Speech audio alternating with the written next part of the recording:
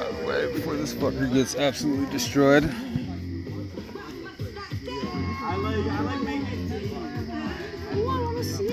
Yeah, come see. It's hard to see with the lights because it's like I was just drawing it while the stage was going on.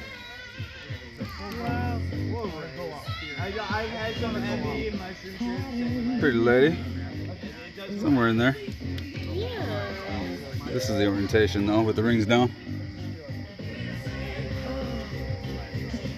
And bugs, so There's just like so much to look at. just putting it lightly.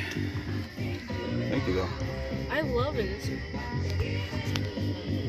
It's, this scribbling first time at Shang? yeah, I see like faces and stuff.